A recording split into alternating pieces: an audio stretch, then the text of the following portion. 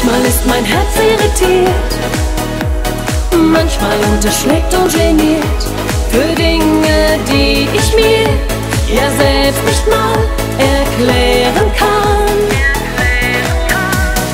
Manchmal hinterfrage ich das Glück, manchmal gibt es den Augenblick und tausend Fragezeichen fangen in mir laut zu rufen an. Dann gebe ich einfach